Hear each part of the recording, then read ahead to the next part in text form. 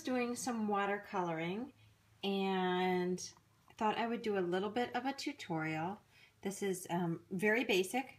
Um, I believe it would pretty much be for beginners. And all I did here was this is um, one of the Cam and Chloe stamps from AC Moore that I've been talking about. And I stamped this out in archival ink, um, one of the brown colors and use my Tim Holtz. Let me see if I, my light source is down here, so let me focus this way. Use my Tim Holtz Distress Markers. There you go, you get a good, good view of it there. And just did some coloring, used, just put these little white dots on here, um, a little bit of Wink of Stella in the middle and on the leaves. So what I thought I'd do is, you know, give you guys a look at this, and if you like it and it's something you want to watch me um, color the second half of, then um, you can join along. So, and we are pretty well actually focused in, so we'll stay right there. These are the colors that I picked out for the um, petals and for the center of the flower and for the leaves. And I'll go through them real quick. That's cracked pistachio, um, evergreen bow. What is this one? A stormy sky, squeezed lemonade, fossilized amber, antique linen, and frayed burlap. So the main thing is when you're doing watercoloring, um, of this nature is I really want a gradient of colors. So you can use any colors that you like, but if you have two or three in the same palette, um, then you can kind of blend them together. And with watercoloring, the blending does not need to be perfect by any means. So I am using a watercolor brush and just laying the color down on my mat. And what I find when I'm doing watercoloring, um, and, and pretty similar to Copic coloring, is that you need to put at least a couple of layers down um, if you want to have some depth to it. So the first layer you're putting down is really just to get the color down. Um, with this, I used two layers, and then you'll start seeing, you know, more depth as the coloring goes on. So I'm taking my lightest color blue and just coloring in the entire leaf.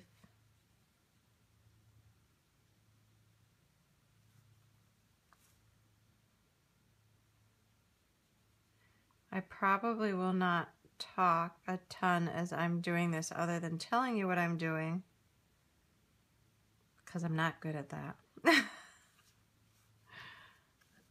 I am not good at talking and doing. So I need a little bit more color and I will, oh, here we go. Really try to make sure I'm staying in frame here. And again, that's, I don't do a ton of tutorials. I guess I just need to pay attention, but I always end up out of frame.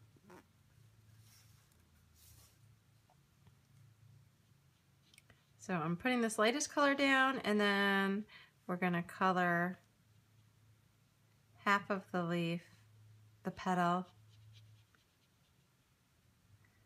with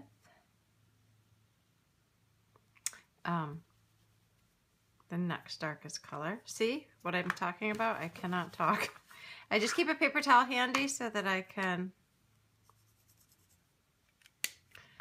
wipe up my mess. And so this is the next darkest color. And I'm going to just start from the middle and pull it about halfway out. And then I'm just going to take a wet brush and blend it just a little bit.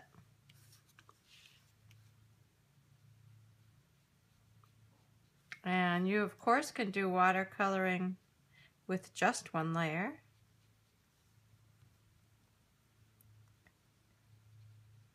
But I really like the richness, richness that you get when you add layers.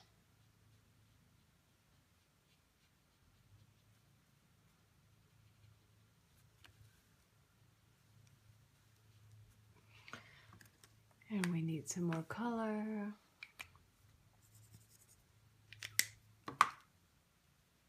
Evergreen bow. Is that how you say that? I'm not even sure.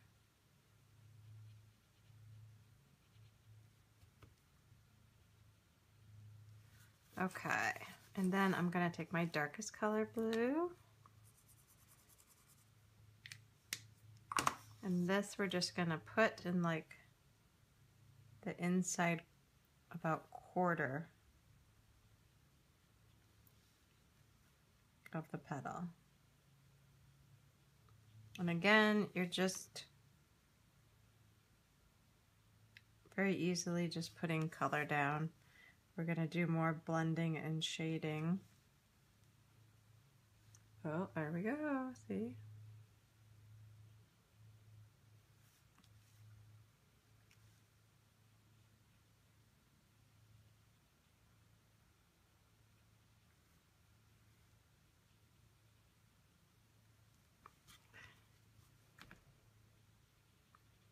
And just blending that a little bit with some water. Okay, that's pretty wet right now, so I'm gonna let that dry and go on to the center. I already put one layer of the lightest color yellow I am using. So I am going to do a little bit more of that and then I'm gonna add the darker yellow. I wanna make sure I have all the blue off my brush. And I'm really just gonna put that everywhere in the center here.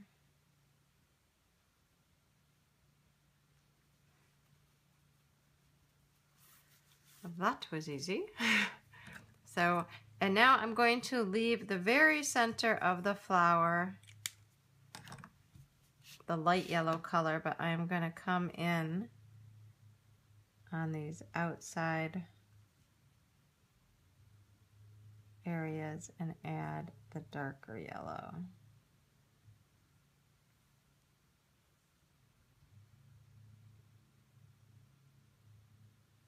So you have just a tiny little bit of highlight here.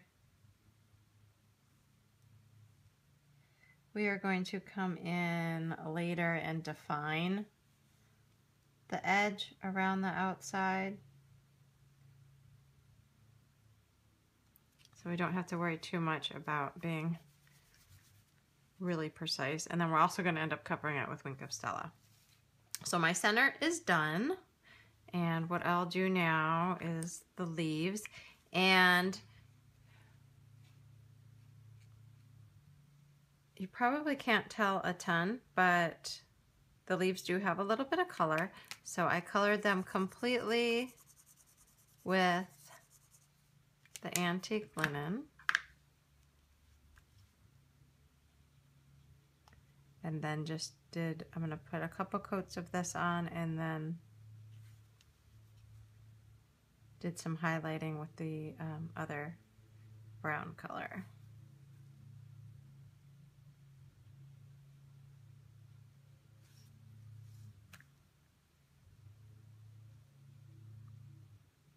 I may speed this up in here a little bit. We'll see how long this video ends up being.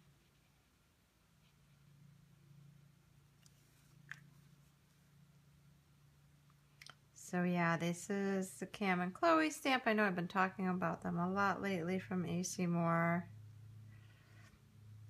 I just, I'm really enjoying getting these stamps for 250 with a coupon. Actually, that's all wet, so I'm gonna go back to finishing my flower. So I'm gonna pretty much do the exact same thing again. Um, so here you see this is with one layer of color and this is with two and you can see how much more rich that. Let me make sure I get my colors in order here. I think what I need to do if I'm gonna do this is like mark off a little spot that I can be in so that I know I'm in frame.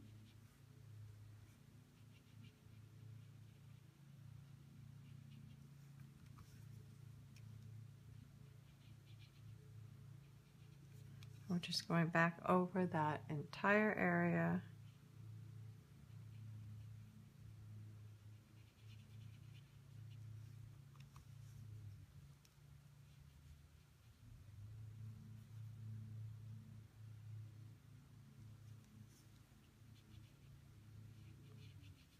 I love, love, love watercoloring with my distress markers.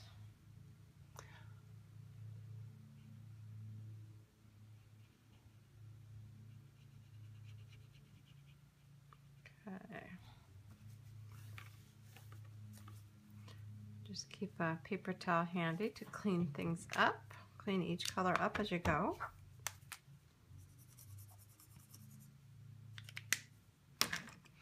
And then I'm going to start taking just a little bit more care in what I'm doing here.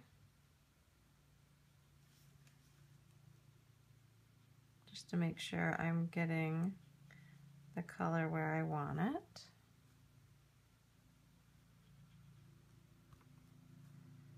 And then I might just wash that out a little bit, but I'm not, um, oh my goodness gracious.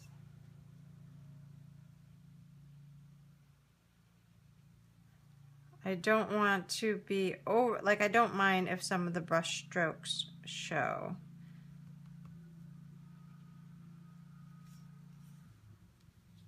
That is okay.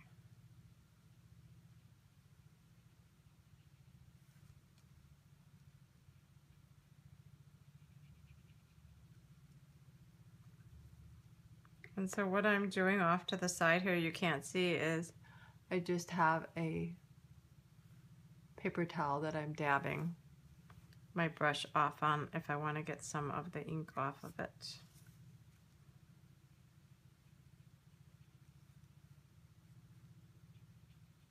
And I don't quite have enough to finish up. A little bit more. Some for the table, some for my hand.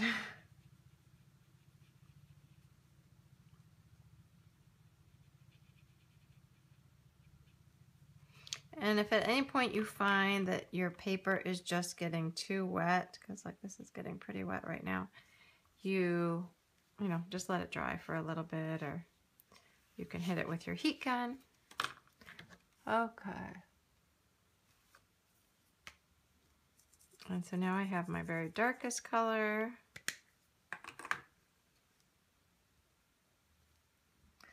And I'm to put this down, this color down, and then once it dries, I'm to come back and just do a little bit of shading. So now I'm like really following the veins here a little bit.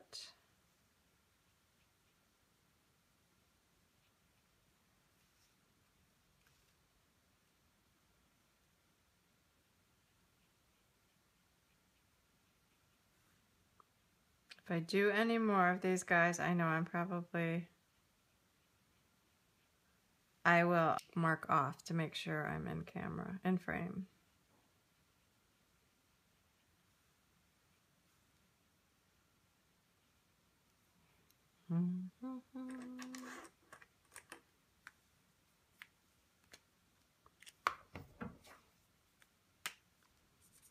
I wish the caps of the Tim Holtz markers I know it has a little picture of which tips on which end, but I wish it just there was some type of recognition on the cap itself so that when you go to grab it, you know without having to, you know, with just, just by glancing at it, which end you have.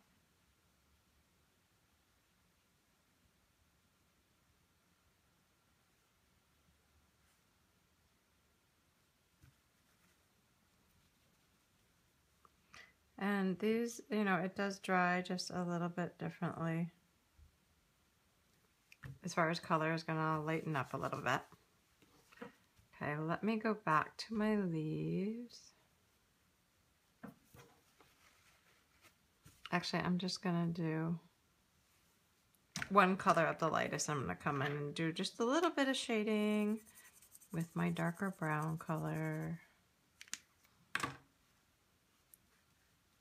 And I'm going to do shading. I mean, this is going to be very subtle. I'm going to follow some of their shading and then just put shading down like, you know, behind the petal here.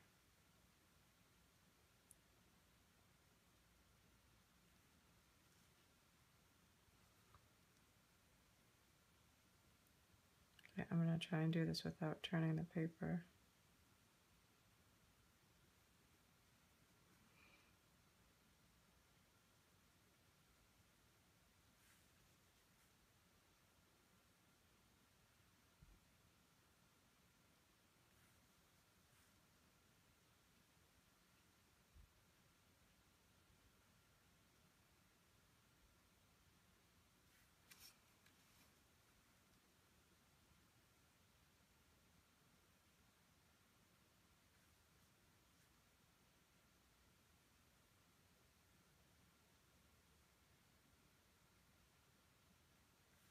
Really hard to tell right there by that leaf.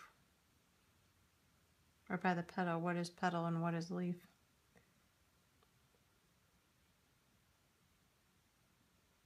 Mm, some of this there's no rhyme and reason to. I'm just getting a little bit of variation in the color. And once you put the wink of Stella over it, it's really going to blend it out even more. Oh, I think I forgot this guy over here. And the stem.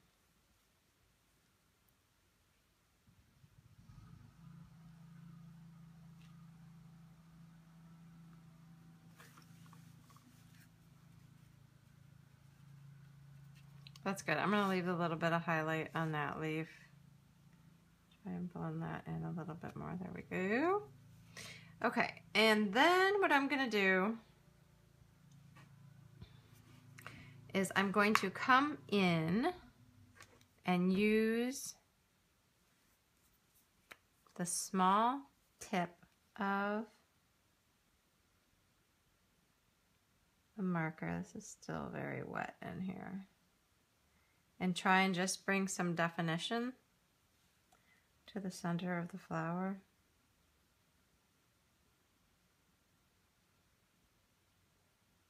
And then in addition to that, I'm going to come in and just do a tiny bit of highlighting back with the water brush again. And because the paper is wet, I'm just kind of dabbing and pulling the pen towards me a little bit. Because if I were to color like this, it might um, start shredding the paper a little bit.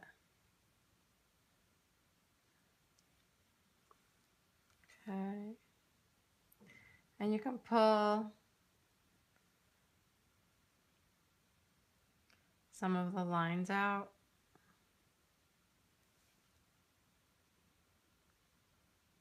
Just to give a little bit more definition to the center.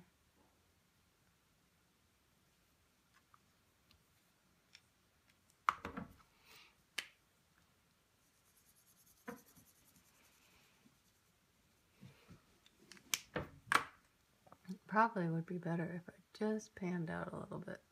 There.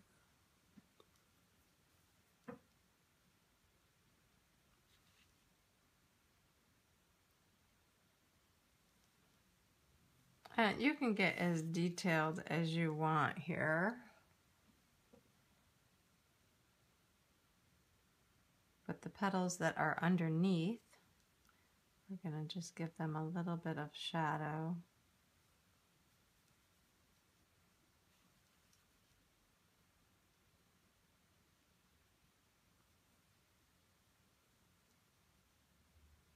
Of my two watercolor pens, this one is my least favorite.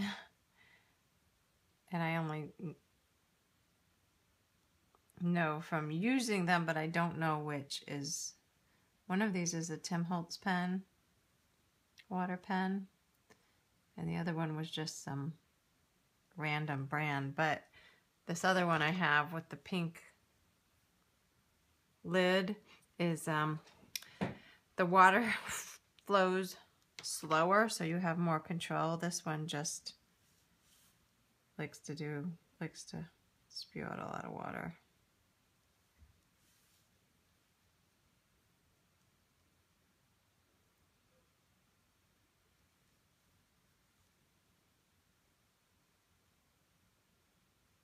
But you can just play with it until you get it the way that you like.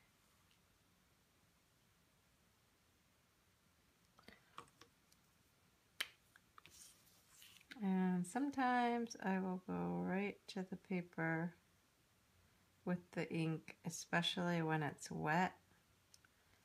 Because sometimes when it's really wet, you cannot um, get it to absorb any more color until it dries. And then you can just blend that a little bit. Okay, so I think I am going to go with that. And so the next thing I'm to do is add my Wink of Stella. And with this, I um just, I, I don't know, I did knew beforehand that I wanted to Wink of Stella all the leaves and then the center of the flower. Let me just make sure I have my clear. Many of you know that I am like addicted to Wink of Stella. I love it. I have started using it um, a little bit less. I still use it all the time, but maybe don't put as much on the project as I used to. But it's awesome. Michaels now sells the Wink of Stella. They're pretty expensive eight dollars a piece or something like that. Um, and so when you add Wink of Stella, this isn't going to show very much, but when you add it over a distress marker, it will activate the distress marker again, so your colors could spread a little bit more.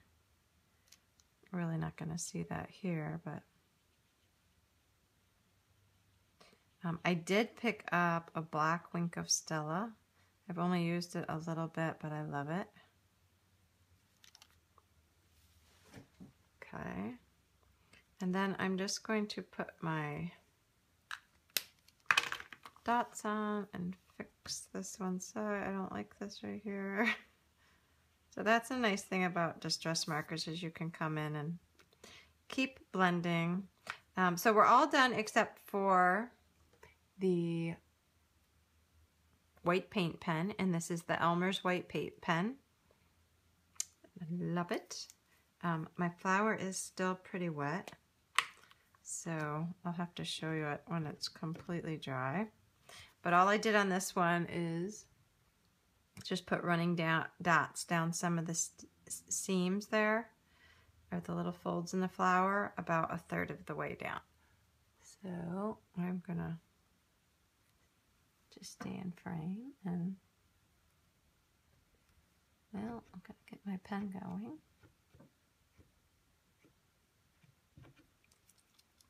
Ah! Got it going too well. um, you really should shake it with the cap on. oh, my little nib just came out. That is one thing I've noticed with this, and I don't know if it's just mine. The nib comes out really easily. So like there, I was just shaking it and the nib came out and there's paint going everywhere.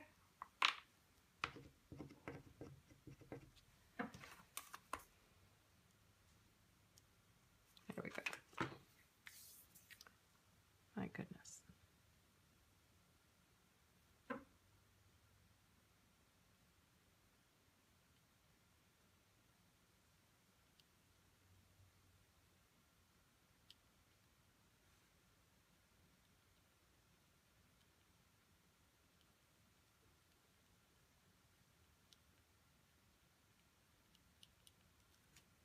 I think it just gives a really nice detail to your end product.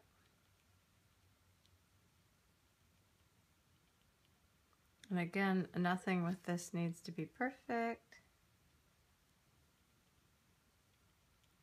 That is probably why I like watercoloring so much.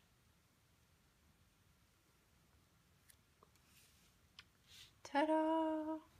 Okay, so here is the final dried product. I cut it out with a Spellbinders die, put a little Wink of Stella around the outside as well. I'll do a close-up in a minute. Um, this flower, it, this is, it's almost 100% dry. Um, this flower did come out a little bit darker than that one, and that's absolutely fine. Watercoloring is not a precise science. um, I also came back and did a little bit more highlighting, and once your image dries, um, that's definitely, you can just, you can come in and layer as many times as you want to. It's just important to let um, some drying happen in between. So I took the pointy end of both the dark yellow and the dark blue and just did a little bit of um, highlighting in the center there. And then I also came back, the leaves, um, I still felt needed some more shading. So I took my darker color and just added some more shading right over the top of the Wink of Stella that I had put on there. And um, the water and the Wink of Stella blend together fine. So let me do a quick little super close up here, if we can with our light source. And you can see all the shimmer there from the Wink of Stella. I must not have used quite as much ink over here um, but I like I like both of the flowers. Okay, so if anyone has any questions, please leave a comment below and I'll be talking to you guys soon. Bye-bye.